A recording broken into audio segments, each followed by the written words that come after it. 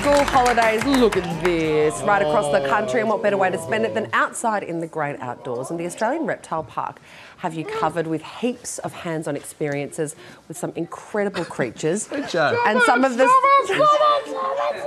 oh, I don't know. Are you doing, is that real or are you like?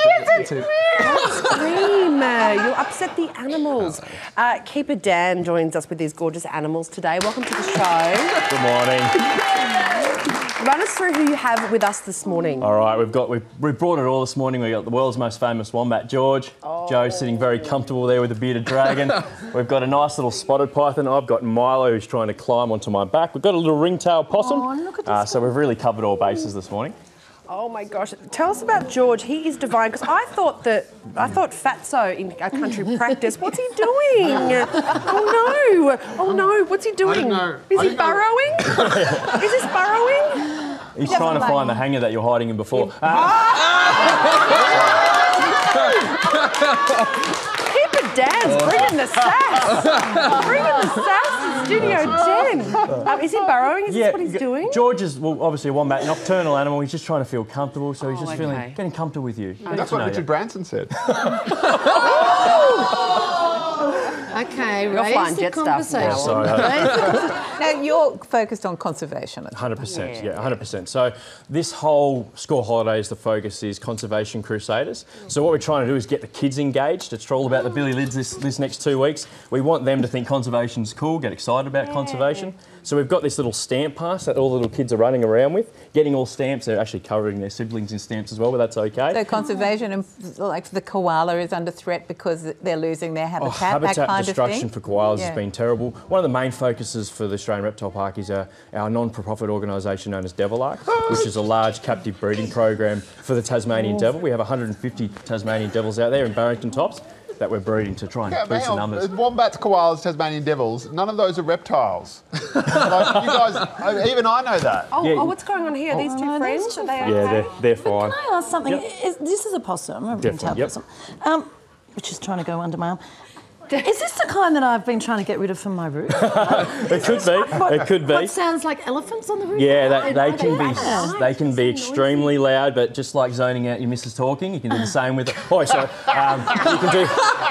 You can do this. You can do the same with a possum in your roof. I've been dealing with it for years. You've kind of just got to cop What it. do you do? Because I did try and catch one. I didn't. Oh no, you can't do that. You put a light in the you put a light in the roof, don't you? Yeah, that will deter them a little bit because they want to feel once again dark and secure and comfortable. Right, so. What's Joe got? Uh, I've got a bearded dragon. I'm also holding a lizard. But can I ask you something? If I brought the kids to the Australian Reptile Park, would, oh goodness, would they oh, be able oh, to get oh. up this close? A hundred percent. We love getting So they'd, kids. they'd actually be able to touch Definitely. and feel and. We've got Okay. a big walk walk yard. Where we've got kangaroos where they can come and get a photo with them, give them a pat. We like to get people as close and as personal with the animals as we possibly can. That's the Oh. whole idea. When people get up close, they get to touch things. Generally, they're going to want to wa- Like- walk away and do something about We're, it. we're sitting here like this. Obviously, these are reasonably Wants to be safe. in the dark. Joe Not next to me with the snake is having a terrible hissing. Time. Hmm. George But- is hissing. But why is it then, if you know we can get so personal with snakes, yet Oh, Joe is freaking out? Why do people, knowing that this is a safe environment, How do we know still that? get so afraid? There's always been going to be a massive stigma around snakes, particularly in Australia, where we do have some of the Who's trying world's most venomous snakes. We have 11 of the world's top 15 most venomous. You're hold right now. That's- You're not holding. I was gonna say. that's, that's a python. Not- that's a harmless snake. making me feel But like you, like the whole reason for the Australian Reptile Park existing, Joe, oh, is so I'm you sorry, can feel George. comfortable this sorry, George. Close. But I don't get- feel get- get comfortable. there, get in there, This- but but that could but that could grow up and strangle you, couldn't it? Not this snake, Joe. Uh, this snake only goes to about 90 centimetres, a metre long. The best thing, if you ever see a snake in the bush, in the backyard, simply walk away and leave it alone. The key with snakes, Yeah. like a tiger snake, they don't wake up one morning and go, I don't want to eat, I don't, I'm sick of eating frogs, God, I'd love to eat Joe Hildebrand. That's not how it works. They don't see That's you. how the rest of the media feels. Does, I mean, does that bearded dragon that Joe's holding is that something we might find in our gardens? Yeah, definitely. So there's an eastern bearded dragon you'll find. There's uh, the uh, eastern water dragons are quite common. They're great to have in It's your a backyard. beautiful- When I was a kid, we had two blue-tongued lizards in our backyard, quite quite large. You honestly They couldn't used to have. just they used to just come out on the rock if we were having Yep. a barbecue, and they'd just sit there and look at us. Do you know why blues are great? Two reasons. One, they eat spiders. Another reason, they eat snails. So if you ever have snails destroying your garden, best natural snail bait on the planet, blue tongue lizards. Wow. Can it work the other way a little bit in that I can, like right now, I'm What the snails eat the blue tongue. no, no, like I'm quite comfortable with this situation. And now, if there's a snake in my house, I'll be like, I've got this because I hung out with one on Studio 10.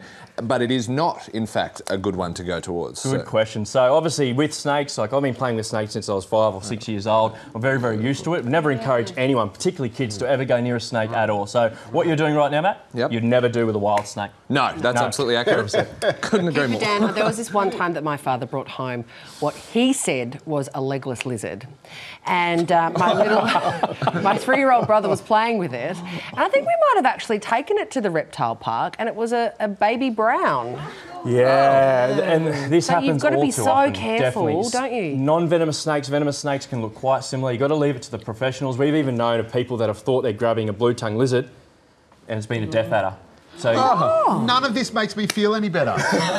Like, what- Why are you holding that so close that to my face? Well, at least See, mine's You not- look so uncomfortable, Joe. I am uncomfortable. That, But the, but the bearded dragon looks very comfortable. well, oh, you know, wouldn't the first Time, time. it's not time you've had, first time you've had a bearded dragon so close to your face. Ayo. Okay. What's going to happen here?